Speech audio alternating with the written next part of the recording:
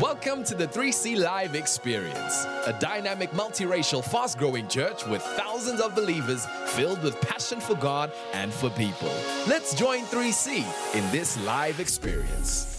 Church, we're going to get into the Word of God. If you're not already seated, please just take your seats and get out your Bibles and your pens and your notebooks, and we're going to hear what the Lord has to say to us today. And I want to encourage you once again open up those spiritual ears and say, Holy Spirit of God, teach me your ways. Remember, the Holy Spirit is our chief teacher, and it's our heart that He teaches us His Word today, that we get a revelation of who God is. It's not information that changes your life, it's impartation. And that's what we need today. By the power of the Holy Spirit, we need revelation and impartation into our lives. Now, the last couple of weeks, we've been looking at the word forgive us, forgive them. And the text was Matthew chapter 6, verse 12, where it says, Forgive us our trespasses as we forgive them that trespass against us. Forgive us, forgive them. Forgive us forgive them. And these last couple of weeks, the Lord has really been dealing with our hearts and speaking to us. And specifically last week, we looked at 1 Thessalonians uh, chapter 5 and uh, verse 9, where it says, For God did not appoint us to wrath. God has not appointed us to anger or to bitterness or to vengeance. That's not God's appointment within our life, but He has appointed us to reconciliation. And therefore, we saw in 2 Corinthians chapter 5 and verse 18 that God has given us the ministry of reconciliation. He's given us the, the word of reconciliation. Rather than call to wrath and vengeance, God has called us to a ministry of reconciliation. Today, I want to speak about how do we deal with offense. And therefore, today's message is offense must fall. A fence must fall. Come on, say it with me. A fence must fall. Fence must say it in. Come on. Say, a fence must fall. Fence One more time. fall. A fence must fall. Must Right? fall. So the scripture we're looking at is Matthew chapter 18 and verse 15. And it says there, moreover, if your brother sins against you, um, the Bible says you must go and tell him his fault between him and you alone. Here's the key word alone. And the Bible says that if he hears you, if he hears you, he, you, you have gained a brother. But if he will not hear, what do you do? Now, this takes to the, the next level. So, if he does not listen to you, what do you do? Now, you take with you one or two more, that by the mouth of, of two or three uh, witnesses, every word may then be established. And then the Bible says, and if then he refuses to hear, what do you do? Now, you tell it to the church. And if he refuses to even hear the church, the Bible says, let, let it be to him like a, like a heathen and, and like a tax collector. Now, now, I want us also to look at uh, Matthew chapter 5 and verse 23. So, so these two texts, um, uh, this is the, the, the foundation of what we're going to speak about today. So, Matthew 5 and verse 23 to 24 says, Therefore, if you bring your gift to the altar, um, you, you know, you might be in church and, and you're at the altar, or in your prayer time, um, in your devotional time, if you're at the altar and you're worshiping the Lord, and there you remember that your brother has something against you. Now, note the first scripture that we looked at, we saw that. Um, we, we saw that, that if, you, if your brother has sinned against you, in other words, your brother, there, there's offense, you are offended with your brother, then you go and sort it out. But now he's talking about vice versa. If your brother has something against you, so when you're offended, the Bible says you need to sort it out. And when you know someone else is offended, you have to go sort it out. So keep that in mind. So he says, if your brother has something against you, what does the Bible say? Verse 24, he says, leave your gift there before the altar. He says, go your way, first be reconciled to your brother, and then come and offer your gift. Then come and offer your gift. So, once again, two things Matthew 18 and verse 15 if your brother sins against you, in other words, your brother has hurt you.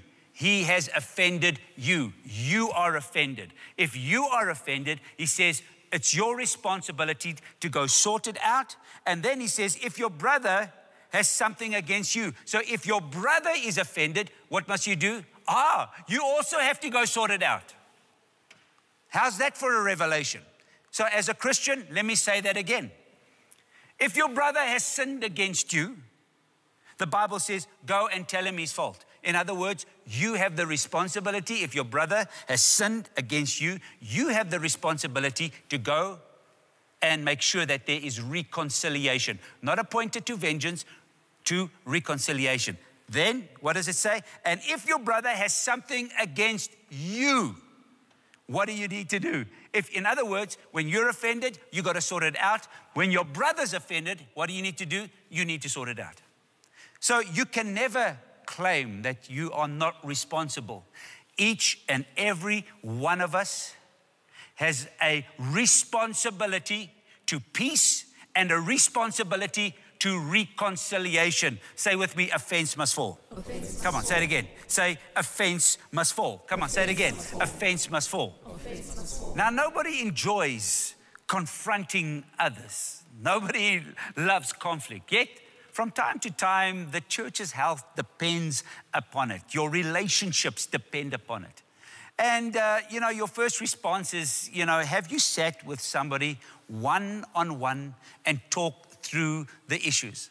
95% of the time, the answer is no. By, you know, we, we avoid the problem. But when we avoid the problem, we aggravate it. We allow bitterness to fester, uh, misunderstandings start occurring, and falsehoods start to spread. And, and, and therefore, it is of utmost importance that we deal with the issues. That's why, once again, if you're offended, you're responsible. If someone else is offended, you also are responsible. We cannot leave it. We have to get to one another. Now, one thing I have found is that offense most often comes from those that are closest to you. the people closest to you are the ones that can hurt you the most. It's those you care about that hurt you. You, you know, because you've given them your heart, you've given them your trust, and then they, they fail you. In actual fact, if you speak to, you know, attorneys, they will tell you that the most nasty, hurtful, uh, uh, cases in courts are, are usually in the divorce courts. And if you look at family violence uh, within our nations, it makes up a big percentage of violent crimes committed in homes by, by, by, by desperate family members that have been hurt or been angered. And, you know, the home that's supposed to be the shelter of protection, the place of provision, a place of, of growth where we're supposed to learn and uh, uh, learn to give and receive love, is often the very place that is the root of our pain. Uh, even looking at history, history shows us that the bloodiest of wars are civil wars. In other words, domestic wars where it's brother against brother, where it's son against father, father against son, domestically, fighting against one another. And so with, within the nation. The, the nastiest of fights, the bloodiest of fights is within a nation or a community when we're, we're, we're neighbors fighting with one another because, it's, because the hurt is so deep when a brother that stays across the road or a brother that is close to you in the same neighborhood or of the, the same persuasion um, that has been walk, walking with you comes and betrays your trust.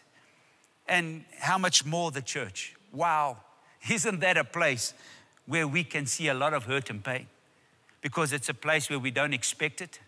It's a place where we've given people our hearts it's a place, it's our spiritual, our, our spiritual family where we've opened up our hearts, we've opened up, our, uh, you know, ourselves, and that's a place where you can get hurt. And thus we see that those who you care about are usually the ones um, that can really, really hurt you. Why? You expect more of them. After all, you know, you've given them more of yourself. The higher the expectations, the greater the fall, and the greater, the greater the hurt. And that's why we see so many wounded, hurt people, bitter people, uh, people that are so offended, but they don't realize that when you allow offense within your life, listen to this, you have fallen into the devil's trap. That's the devil's trap. He entraps us how? Through offense. And that is the, the, the key word when it comes, that's the key strategy of the devil divide and conquer, divide and conquer. If he can divide a church, he can divide a cell, divide a family, divide a marriage, divide a nation. See, when he brings division, he can now conquer. That's why we see in, in the Bible everything that God speaks about has to do um, has to do with unity, having one heart. So we look at 2 Timothy, 2 Timothy chapter 2 and uh, verse 24 to 26. He says, And a servant of the Lord must not quarrel. there you go. A servant of the Lord must not quarrel.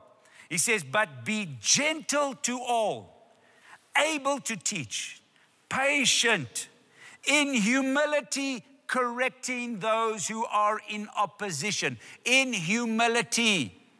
In humility, not in a sense of superiority that I am better than you and let me tell you what to do.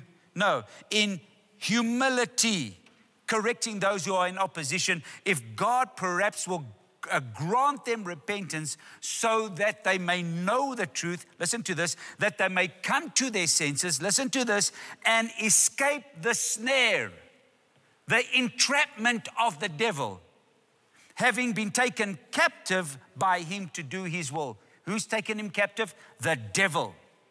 The devil takes people captive, he entraps them by the snare.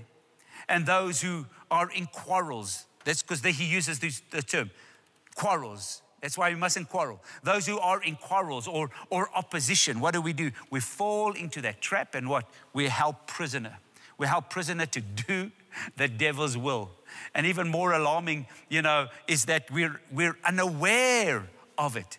You're unaware of the captivity. You're unaware that the devil has got you because you have taken offense within your life.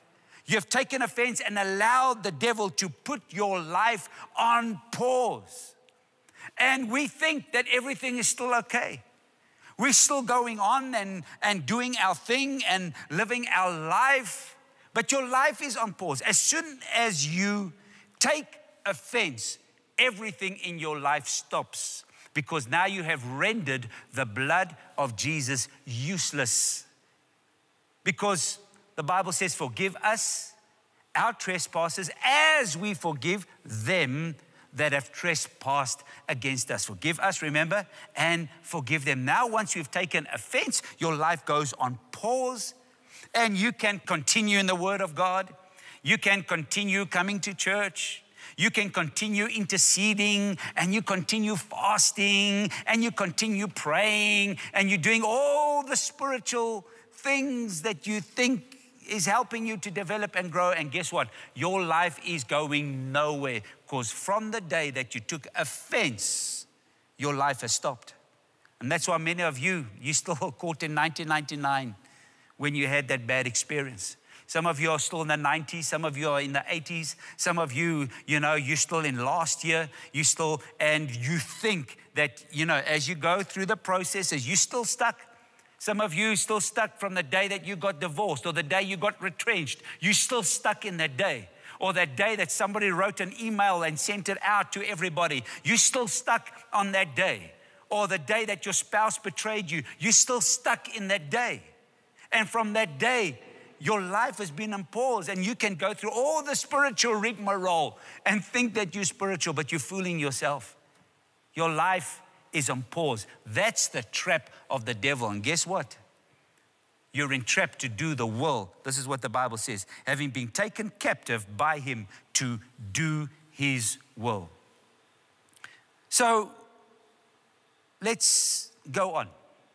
And don't worry, don't feel condemned. We're going to take it to the next level because I'm going to help you deal with this.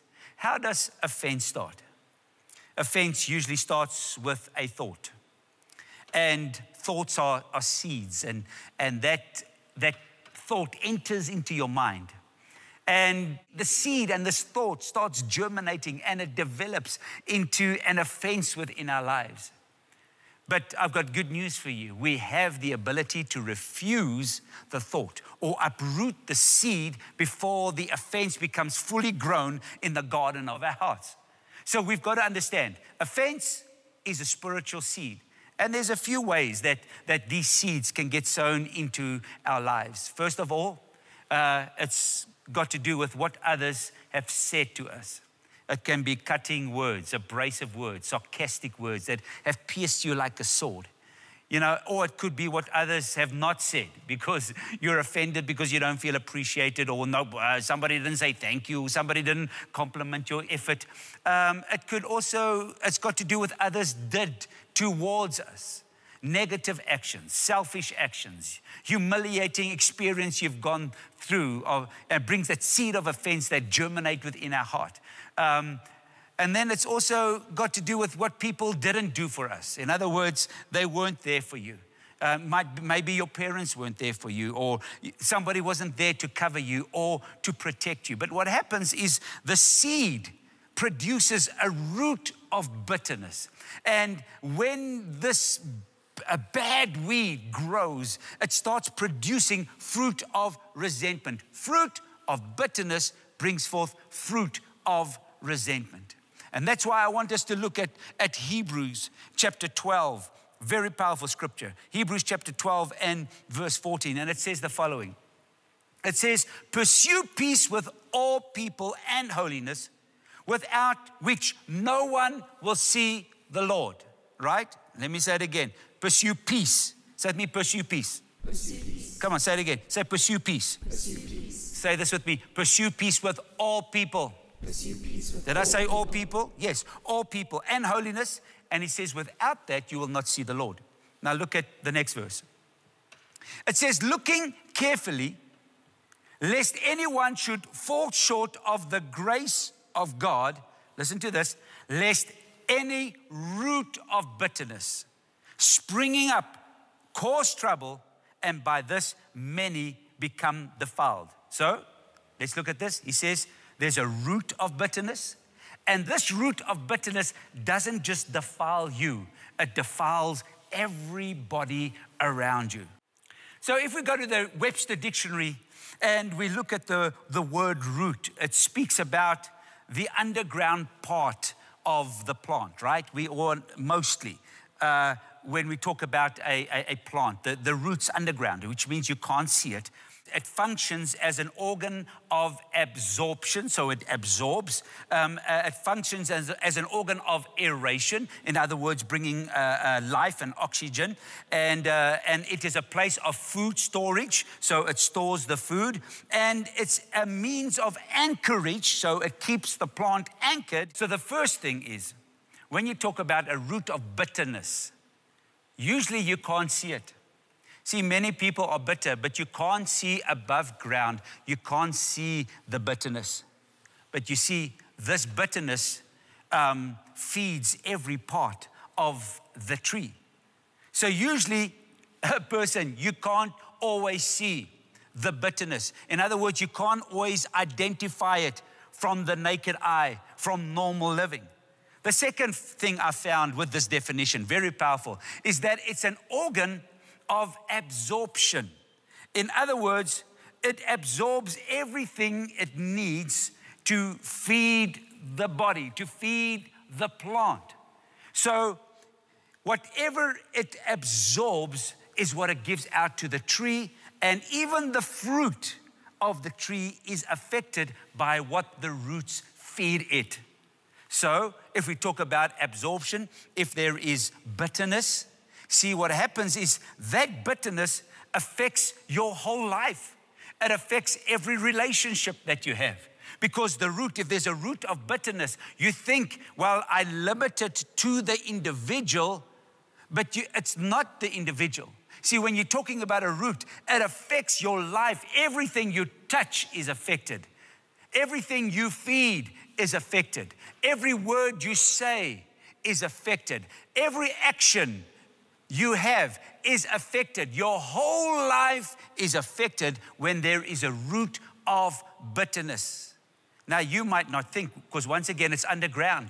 You see, you might not think that it affects everything, but it does, because the root absorbs and then it feeds the whole plant. It's also an organ of aeration. So it feeds the oxygen, it feeds, it feeds the life. So imagine you're talking about a poisonous root that is poisoned. It poisons the whole tree, it poisons your whole life, it poisons your workplace, it poisons your family, it poisons your marriage. And then if we talk about the, the aeration, which is the oxygen, the roots also give the oxygen. Now, if you think about gas, um, you know, oxygen gives you life, but carbon dioxide, you know, kills. So if you've got poisonous gas, poisonous life, it destroys everything you have. And you're wondering why everything is always going wrong. Why do bad things always happen to me? Why is nothing ever coming right? Well, let's look at the root. Is there a root of bitterness within your life? Once again, absorption, what you feed. And then, of course, it says, you know, the life. And that affects everything, all your relationships, everything you are and do. And then it says, and the root is also a means of anchorage. It's the support, it's, what's, it's what anchors you in life. But you see, if the root is rotten, if the root is rotten, it's not going to anchor your life. If the root is rotten, it's not going to anchor you. And it won't take too long.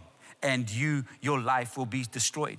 And therefore, whenever the seed of offense is sown into your life and you allow it to germinate into a root of bitterness, you know, the, the, the fruit thereof is always resentment. And that's why it will always display in whatever you say, in all your words being critical, gossiping, being aggressive, always judging everybody around you, always blaming uh, everybody around you. Offense is that spiritual weed that has to be taken out of our lives. Say with me, offense must fall. Come on, say it again. Offense must fall. So it's displayed in what you say and it's displayed in what you do.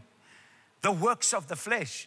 The works of the flesh in Galatians chapter 5, Paul lists 17 things, you know, as the works of the flesh. I'm just going to mention a few. He says, sexual immorality, sexual impurity, lustful pleasures, idolatry, sorcery, hostility, quarreling, je- uh, jealousy, outbursts of anger, selfish ambition, dissent, uh, division, envy, drunkenness, wild parties, and all other sins like this. You see, when, when you're offended, you open your life to sin.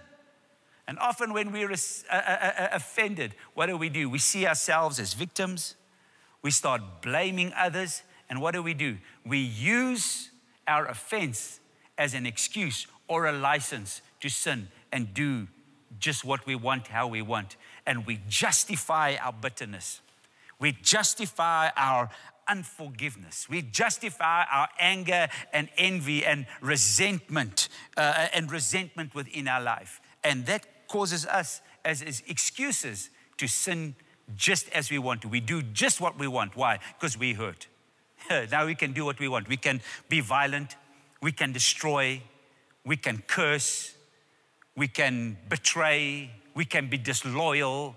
And, and sometimes we even resent those who remind us of others, you know, uh, that have hurt us. And then what do we do? We then also entice others to take offense on our behalf. I mean, really that is like, you know, having sin buddies. And that's just like the devil. The devil doesn't want to go to hell alone. he wants to, he, he makes sure that he's taking others with him. He knows he's going to hell, but he doesn't want to go to hell alone. And so we find with others. You see, when you're in that place, you try to find a sin buddy. You want to get an offense buddy. You're trying to get people to take offense on your behalf and they're not even in the situation. Now you start gossiping, you start putting people down, you speak words, and rather than bringing reconciliation, you rather pull somebody else into your mess and you tempt them to become just like you, to hate like you, to be bitter like you, and get a sin buddy. And just like the devil, he wants to take people to hell. Therefore, offense blinds. Let me tell you, offense blinds you it blinds you to the true reality. And only a revelation of the love and the goodness of God can set you free. And when the Holy Spirit then gives us that revelation, and we allow the Holy Spirit to work within our heart, you see, now we can deal with offense.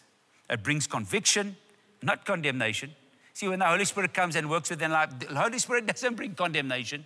The devil brings condemnation. The Holy Spirit brings conviction. And when there's conviction, you need to deal with it. See, condemnation means you don't think there's, there's no hope. There's no hope, but that means you don't believe in God. But conviction that you are wrong, conviction that you messed up, you can still do something about it. And that's what I want to, uh, to take us to the next part of this message.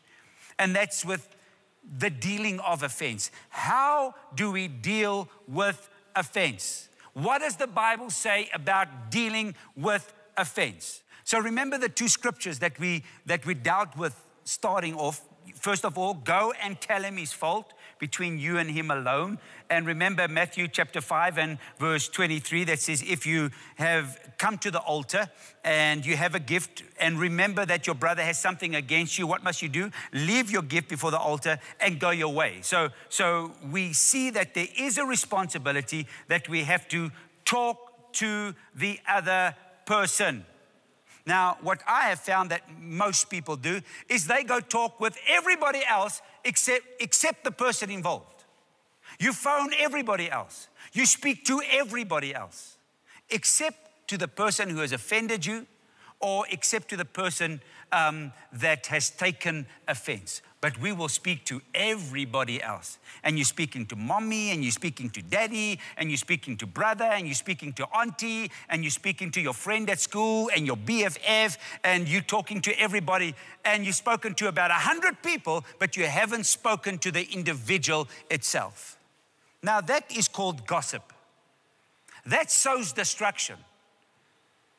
And the Bible says, in uh, Proverbs chapter 17 and verse 9.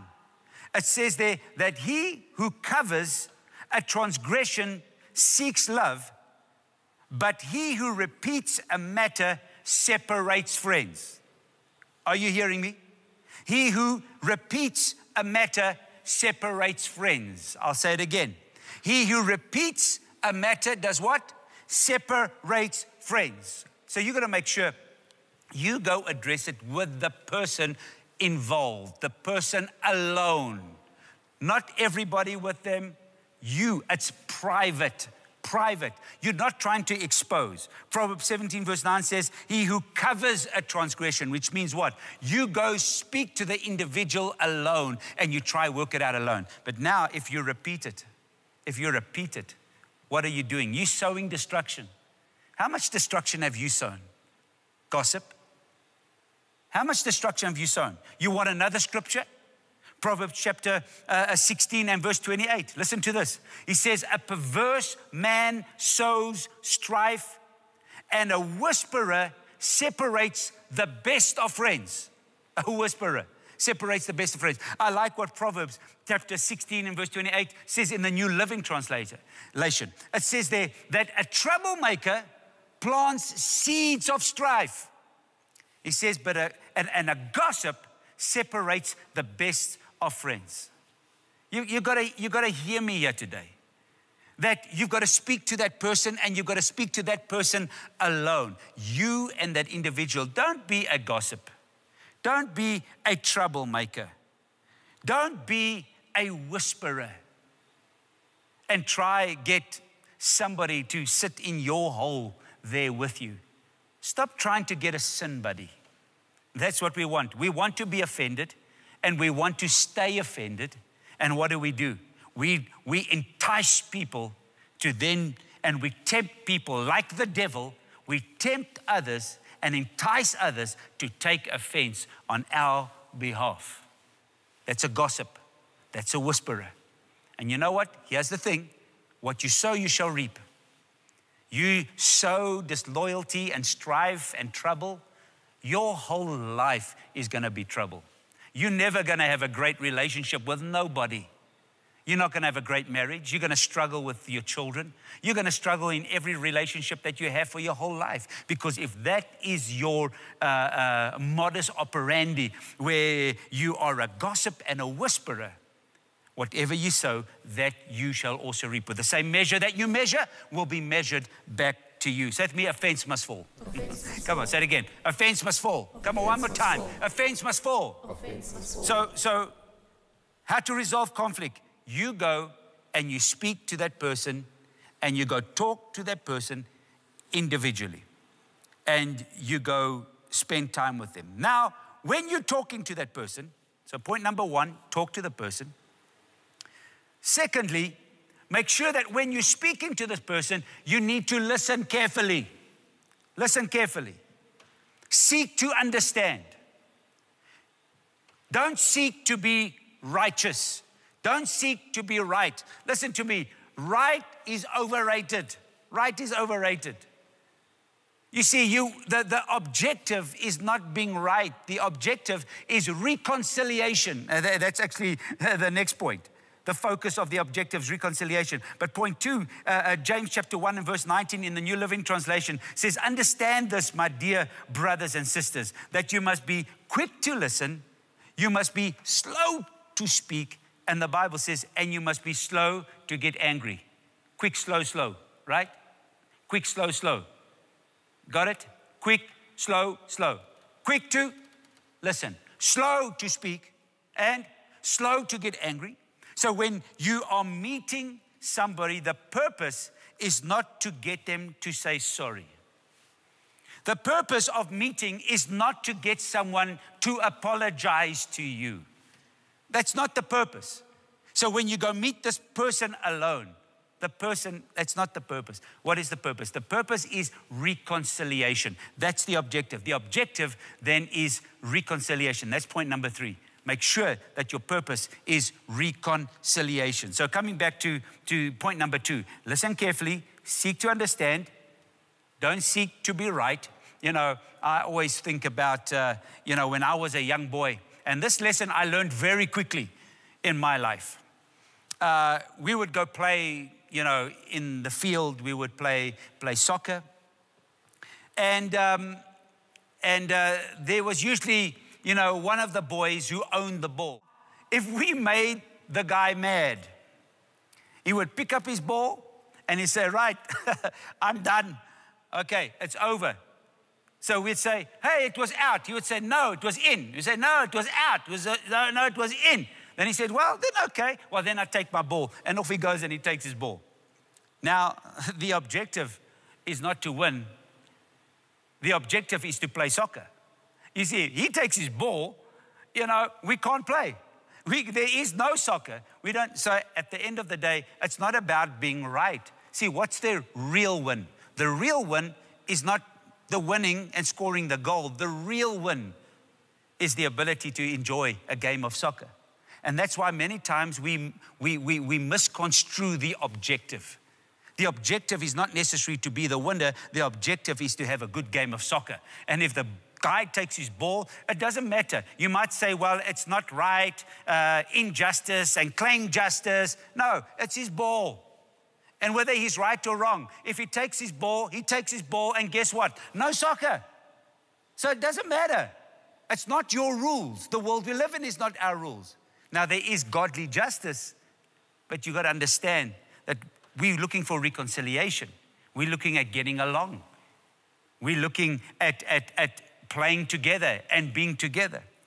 And therefore, let's make sure that we're not seeking to be right. But that brings me to point number three.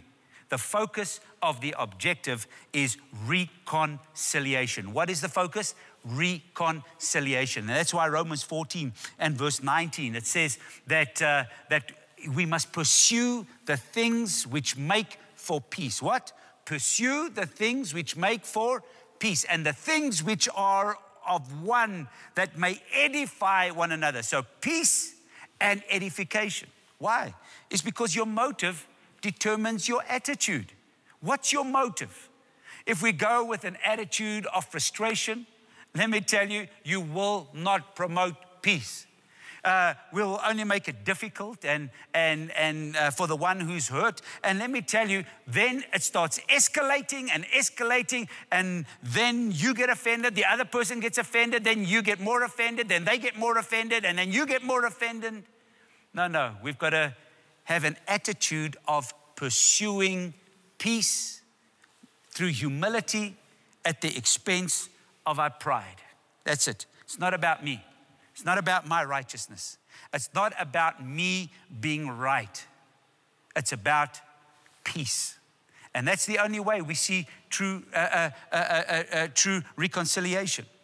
So, so once again, we've got to talk to the person, listen carefully, seek to understand, focus on the objective, which is reconciliation, number three. And then four, identify points of agreement and disagreement.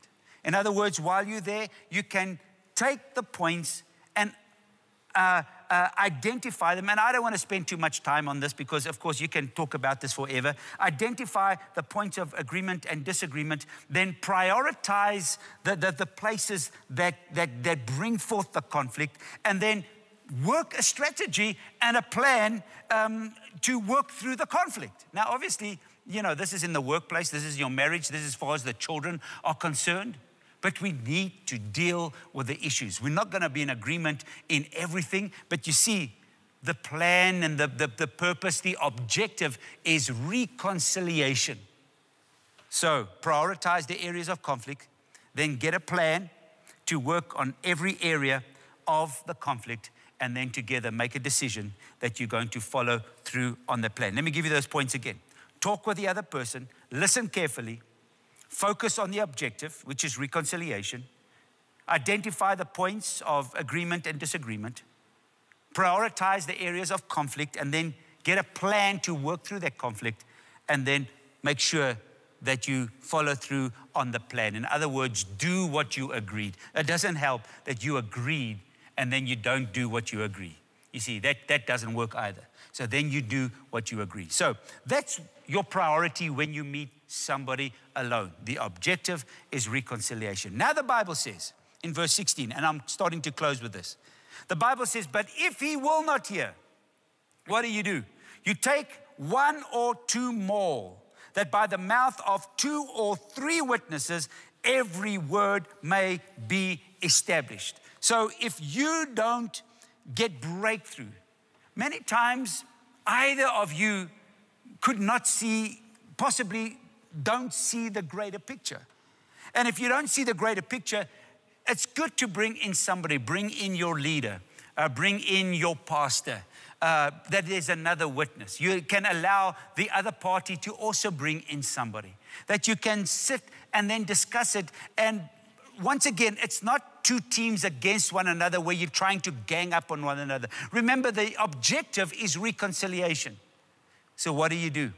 You get somebody, you bring somebody in, and you bring the leader, you bring them in. So, two or three witnesses. Then the Bible says, if that person with the witnesses, so once again, you've brought You've dealt with the person that has sinned against you. You've brought in witnesses and they confirm what you've said. Then the Bible says, now bring it before the church. Bring it before the church.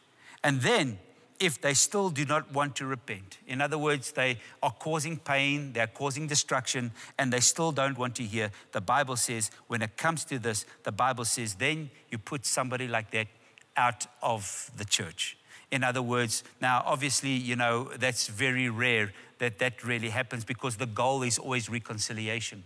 But there are consequences. You can take somebody off ministry, you can take somebody off leadership, you can take someone until they've sorted things out in their lives. And, and remember, it's never about punishment, it's always about uh, uh, rehabilitation, it's always about correction, it's always about empowerment. It is never, the goal is never negative, it's always grace, it's always mercy.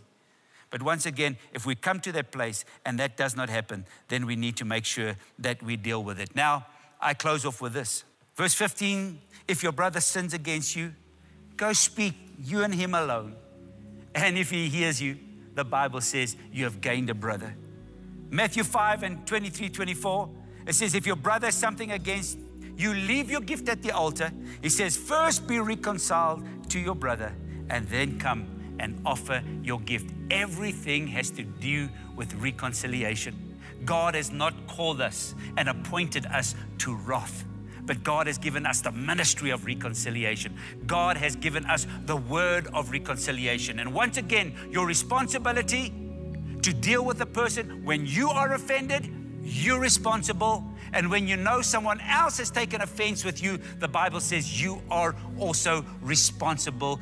That is normal Christianity. That is what God expects of us. That's what it means to love people. And He says, By this shall men know that you are my disciples, is the love that you have for one another. Isn't that powerful? I believe that you have been. This 3C Live experience was brought to you by the 3C Media Production. For more information, call us on 086 1112345 or log on to my3c.tv. Or you could write to us at PO Box 10508 Centurion 0046 or email us at tv at my3c.tv.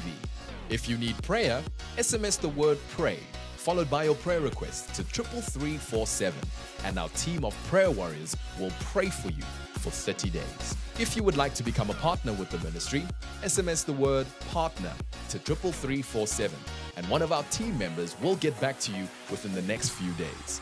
You can follow Pastors Bert and Shanae Pretorius on Facebook, Twitter, and Instagram to be inspired daily by morning devotions, ministry updates, and much, much more. Log on to my3c.tv for more information.